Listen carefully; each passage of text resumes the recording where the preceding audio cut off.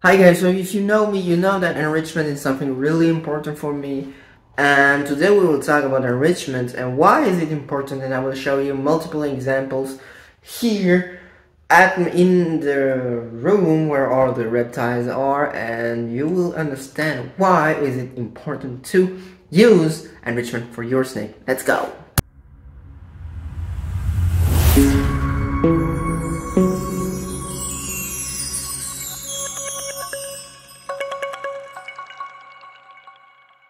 So I will go to the most simplistic way of doing it. This enclosure is empty when I'm filming this, but when this video will be out, normally it won't anymore. But we'll see, maybe a video about it. So what is the most simplistic, simplistic way of doing it? Water ball, hide, branch that's it. That's pretty just there is no water ball there's no height but imagine it. This is the most simplistic way of making enrichment. What do I call enrichment? Enrichment is something like a branch to make your snake climb like a like type of substrate that's not paper towel where they can dig in it and doom where there is humid places where there is drier places. Or whatever they can go in it like here there? Like you know different type of hides or hides that are a different texture than the branch like the branch like the thing like the cork like the thicker like the uh, the old stuff. This is pretty basic type of enrichment if you want then you go on. I will show you it that will be better that way. I will show you. Then you go on something more. You know this is quite simplistic and there's a lot more. Then what you have is also something really simplistic. This is actually what I what I talked about just before. It's this thing here. So there she is normally or maybe hiding another way. Nope. She's maybe here and there. Or she's digging. She dig. But this is also something very simplistic. You know you have these with plants and stuff. So this is the really basic stuff. This is the most basic I have. So you have you can see. And then I will do that into this one this enclosure when she will be ready for to move in it. So what is ready to move in it? It's to be big enough to not go here not go in between here because I made it myself and I made it like I'm not someone with I'm someone super like not kind of guy that will make a lot of stuff with his hands. Then you go on my enclosures here, these the others. So this these two are the same type. If you want this more simplistic way, I'm not super happy with it, but that's pretty insane. So you have here the hide, some plants, some cork, branch stuff. This is like enclosure wise, also simplistic. I don't try to have super elaborated stuff no I, want something that works easy that works great.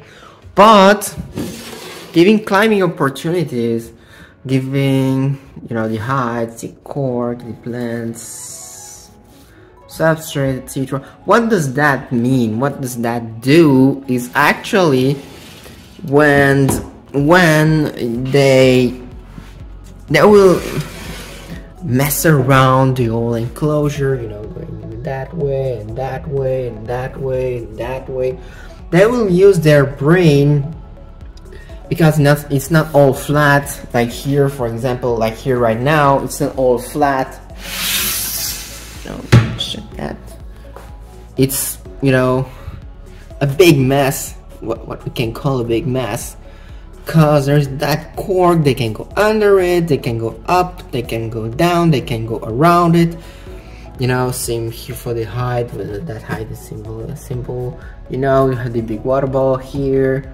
When they go in it they can go around it they can the branch is same etc and what does that do? Well not they they ate so they are just chilling a bit. I don't know if you will see that but they're just chilling in it. It's that what does that do is that they will use their brain to know what's the best way they want to go. And also it assures assure you that your snake will have a good body condition because what you can see with snakes that aren't so that are eating that much because they eat a lot for snakes. Well they eat a lot for a lot of ball python guys they eat a lot. But they they move a lot so this is different you know. If I had to feed my snakes the same way but they had that type of enclosure or even worse no branch and just flat out thing it won't be the same. Also here is our little guy. He didn't eat because he ate a very very large meal two weeks ago and he's super excited. So here he is.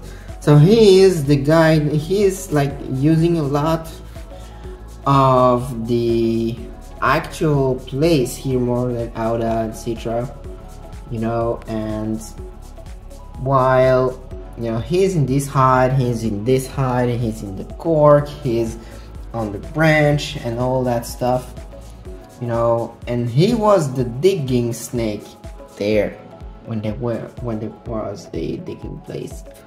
So he is also a quite demonstrative snake. And also that's also something to consider giving enrichment. It's because you see your snake's personalities more than you would and that's something really interesting. Because when you see your snake being curious being you know inquisitive etc a lot more a lot less depending on species depending on individual etc then you can have a snake like him that is trustworthy even more than a reptilian brained snake if it means something for you. For me that's pretty clear the difference between the two. So you know, it's not that your snake won't be intelligent, as intelligent as a snake. A snake without enrichment will be dumber than a snake without with enrichments. It's just that they won't be as inquisitive. They won't be like they won't be unstressed, relaxed with a lot of stuff. You know, the more they see, the more they are relaxed with of course, there are limits to it, but in great line, great in big lines, it's a bit the way it works. So the more you show them, the more relaxed they will be, and the more like it will be better for us actually, and better for us, better for them. Why better for us? Because we will see snakes moving around, being more trustworthy, being more relaxed, being more curious, inquisitive, etc. Using more than brain than something than their instinct, because that's also what I found interesting, and that's also why I find it find it interesting to do with ball pythons, because a lot of people are just like ball python or pet rocks. There are more than pet rocks if you give them the opportunity to because everyone knows a corn snake is super inquisitive. But what about them? Well, he's hiding now. But what about them? Well, they are inquisitive and a lot more than you would think. And that's something really important for me. And that's why also I'm not super pro rack outside some condi certain conditions because you don't have to blame rack people, you don't have to blame anyone because anyone has everyone has his own way of doing the things. Of course we can talk to improve each other. That's the way but you don't have to blame to get upset because someone is doing it some way. So that was it guys. I hope everyone is doing great. I hope you enjoyed it, don't forget to like, subscribe, comment, share, don't forget to support USARK, don't forget to join Rick is an exotic pet don't forget to join Brian Super Stay Strong Brian's group and I hope to see you on the next one. Bye.